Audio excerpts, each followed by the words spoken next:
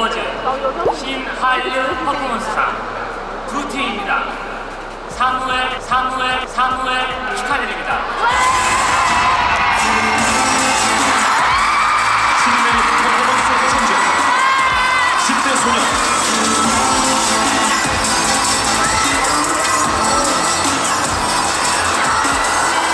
네, 안녕하세요. 선배입니다.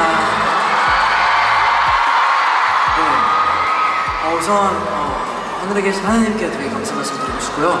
어, 우선 같이 고생하는 우리 용감한 형제 대표님, 어, 브레이브 엔터테인먼트 회사 식구 형 누나들 그리고 오늘 시간 내서 와주신 팬분들 너무나 감사 말씀 드리고 싶고 어, 앞으로도 열심히 하고 항상 성장하는 그런 가수 사무엘이 될 수 있도록 노력하겠습니다. 감사합니다.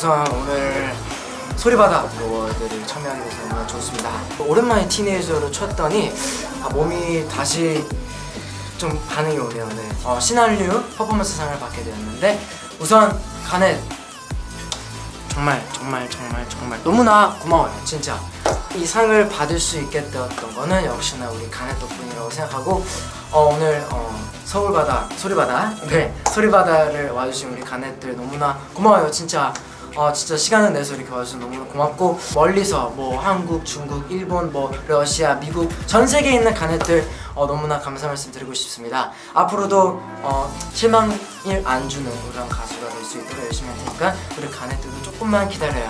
다시 나타날 테니까 조금만 기다려요. 오늘 고마워요 가넷 안녕.